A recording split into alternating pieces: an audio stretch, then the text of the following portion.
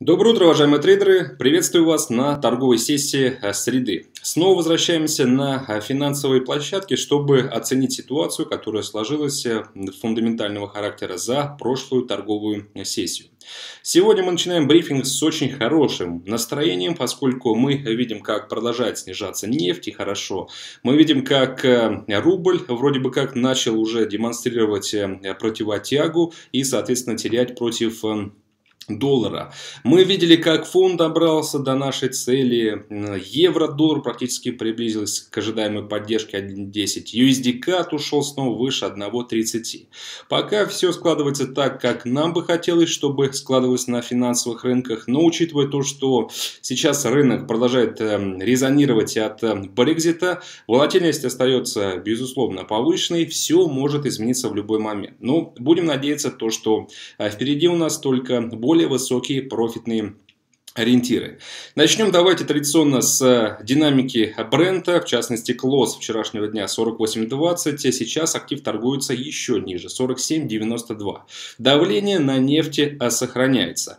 И если мы посмотрим на общее отношение к рисковым инструментам в рамках вчерашней торговой сессии, то поймем, что в принципе этот актив, э, эти активы скидывали. И нефть, будучи одним из рисковых инструментов, также оказалась в числе аутсайдеров. Я думаю, что одной из причин, по которой больше, скажем, интереса трейдеры проявили к защите, э, стали сообщения, точнее даже действия многих эм, Э, фондов недвижимости Англии, которые приостановили торги недвижимостью по причине резкого, я бы даже сказал, катастрофического оттока капиталов.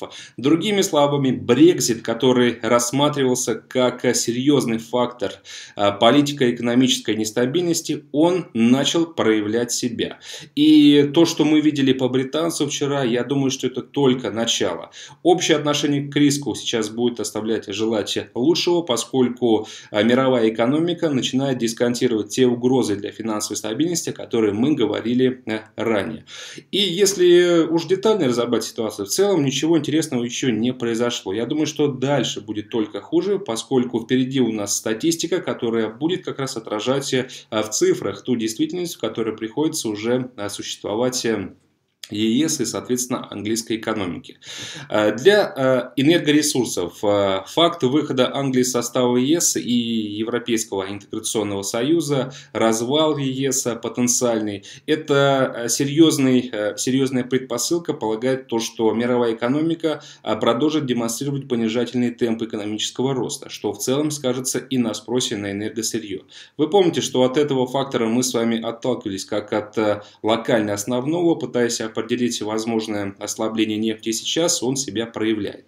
Второй момент, на который, я думаю, нужно было обратить внимание, это э, статистика по США. Важный отчет для э, сырьевых товаров, промышленное производство, которое просело на 1% э, против прошлого роста на 1,8%. Что в целом отразилось на слабости американца. Но здесь э, мы делаем вывод э, больше о слабости всего сектора, э, что может привести к дополнительному снижению спроса. Ну и третий фактор, который сейчас поддерживает быков, я думаю, что он останется также определяющим, это все-таки рост количества платформ в рамках американской экономики, активизация сланцевого обурения, что может добавить к уже пересмотренным за прошлую неделю платформам. Вы знаете, что их число сейчас составляет 341, и еще несколько штук, что повышает повышает вероятность роста предложения со стороны э, США и, соответственно, снова э, меняет расстановку сил, точнее даже баланс между спросом и предложением на э, рынке. Из локальных факторов поддержки, которые сейчас стоит иметь в виду, это запасы нефти США. А вчера вот, кстати, я оговорился, отметив то, что у нас традиционно API во вторник, ну это обычно так, действительно, но поскольку в понедельник в США был День независимости, а, праздник традиционно все отчеты едут на сутки. Поэтому АПИ у нас а, сегодня, Минэнерго, соответственно, спустя сутки, то есть завтра. Если допустить, что трейдеры будут также активно реагировать на статистику по запасам, есть вероятность увидеть э, повышательную динамику нефти, поскольку э, в позапрошлой неделе мы видели именно такую реакцию. Но я все-таки э, продолжаю оперировать оперировать тем осознанием, что спрос на нефть соответственно, сокращение запасов нефти США сейчас является лишь сезонным проявлением того, что повышается спрос на топливо и, соответственно, на сырье. Поэтому на эту статистику в летний период особо не нужно игнорировать и остается надеяться то, что наконец-таки трейдеры осознали весь тот фундамент, который и предопределяет возможность снижения Брента и WTI. Российская валюта 64.57. Честно признаться, после того серьезного ослабления нефти, которое мы наблюдали в последние две торговые сессии, сейчас мы находимся на минимумах середины июня. Если пробьем эту отметку, то есть 47 долларов за баррель, пойдем к уже многонедельным минимумам. И я допускаю, что для последующей коррекции это будет только начало. Даже с учетом текущих котировок, полагаю, что пара доллар-рубль, точнее американец, недооценен э, рубля на полтора. То есть справедливая котировка могла бы сейчас э, уже находиться в районе 66. Может быть трейдеры поспешат отыграть это до конца недели, то что тренд э, серьезный, выраженный, пусть и локального характера. Но мы констатируем тот факт, что бренд продолжает снижаться. И если так и произойдет, тогда на рубль снова будет оказано серьезное давление, и мы сможем оказаться недалеко от отметки 66 рублей против доллара. Я снова призываю вас к тому, чтобы вы рассматривали возможности для длинных сделок, потому что рубль, э, собственно, так же как и многие другие рисковые инструменты, остается аутсайдером. Но в отличие от прошлых, рубль еще будет страдать от потенциальной слабости нефти.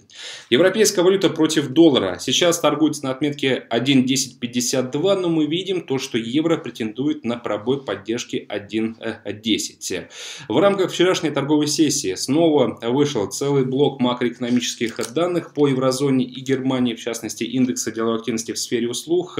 По Германии э, рост 53,7 с 53,2, по еврозоне 52,8 с 52,4. Но в отличие от прошлых торговых сессий и всей прошлой недели, э, поддержки евро эта статистика не оказала. Я допускаю, что это было связано с тем, что трейдеры наконец-таки стали понимать, что э, тащить евро сейчас выше уровней, на которых э, пара торговалась, это отметка 1.1130, 1.1150, крайне рискованно, потому что основание, оно крайне э, зыбкое для э, улучшения настроения в отношении этого актива. Системные риски, которые сейчас в буквальном смысле выпячиваются по факту новых новостей по Брекзиту, последствий, опять же, действий регуляторов, которые предпринимаются с этим, говорят о том, что мировая экономика начинает обороняться через дополнительные стимулы. И то, что что давление на евро было вчера оказано, связано а, с а, серьезнейшим ослаблением фунта, который вот а, сегодня даже добрался до отметки 1.2795. То есть с учетом последних нескольких торговых сессий ослабление больше, чем на 3 фигуры. Серьезная понижательная динамика. Произошло это после того, как Банк Англии анонсировал новые меры экономического стимулирования. Мы ожидали, что в купе их можно будет услышать по итогам следующего заседания. Но Банк Англии и я считаю, молодец. Э, решил быть более проактивным и воспользовался собственно, конференции Карни, председателя э, Банка Англии, чтобы сообщить рынку о том, что они готовы поддерживать финансовую э, систему.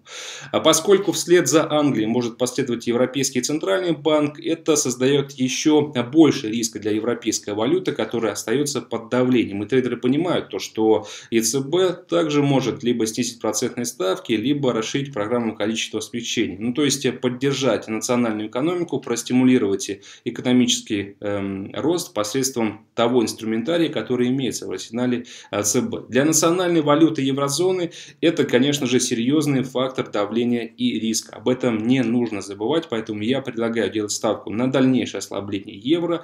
И, э, в частности, сегодня очень важный день по содержанию экономического календаря в 21.00 по московскому времени будут опубликованы протоколы. Если они поддержат доллар, соответственно, давление на евро усилится еще и со стороны американца. Ждем пробой поддержки 1.10. Фунт против американца сейчас торгуется на отметке 1.2904, но допускаю то, что мог уйти даже еще выше. Это вполне нормальная реакция после того серьезного ослабления, которое мы э, видели. А, собственно, по паре фунт-доллар. Сейчас у нас не просто многомесячные, многолетние минимумы. Это минимальные значения за последние 30 с небольшим лет. И даже с учетом таких котировок, ослабление фунта еще не до конца реализовало свой потенциал. Вчера основной прессинг на британцев пришелся после того, как Банк Англии анонсировал новый шаг экономической поддержки, снижение давления на показатели фондирования и э, поддержал ликвидность на внутреннем рынке. Произошло это посредством сокращения показателей нормативов достаточности резервирования для коммерческих банков или, как говорят еще, буфер капитала. Действовал этот показатель в процентном выражении на отметки 0,5%, э, вот э, довольно длительный период времени, и сейчас э, он был скорректирован, собственно, с 0,5 до 0%. Продлится подобный механизм поддержки до как минимум июня 2017 года, и посредством него может высвободиться из резервов больше 6 миллиардов фунтов, которые поддержат рынок кредитования коммерческих банков. Разумеется, Центральный банк сейчас стимулирует коммерческие банки, помогает им, снабжает дополнительной ликвидностью для того, чтобы потом коммерческие банки помогли национальной экономике. Поскольку если все будет э, как и должно быть э, в теории, если эти средства пойдут не на сохранение и не накопление собственных резервов, а на рынок для того, чтобы кредитовать население, это расширит э, кредитный рынок, это простимулирует потребительскую активность, что выступает также одним из определяющих факторов экономического роста.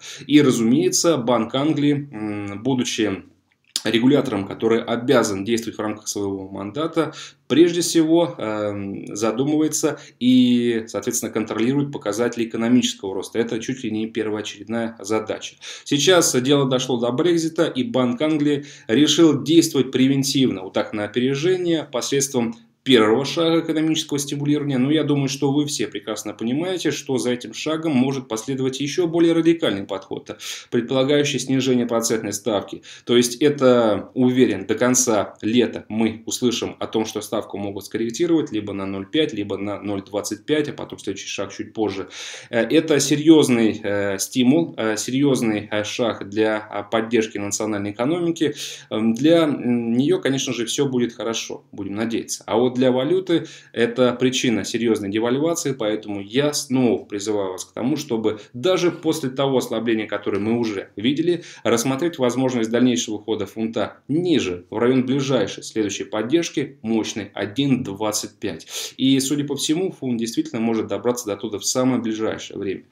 А, еще один момент, который был связан с фундаментальным прессом на фунт, это статистика по индексу деловой активности в сфере услуг Англии. Вчера, э, учитывая то, что мы э, увидели цифру 52,3, это позволило нам сделать вывод о том, что индикатор находится на минимуме за последние 36 месяцев, то есть, э, точнее, 38 месяцев, больше, чем за 3 года. Сфера услуг – это 80%, может быть, даже больше всего экономического роста, и сфера услуг замкнула показатели деловой активности в строительном секторе и в производстве такой же слабости, как и было по первым двум.